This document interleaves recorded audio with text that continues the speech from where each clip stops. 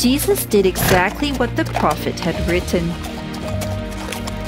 On his way, a crowd followed Jesus. These people heard about the miracles and teachings of the Lord.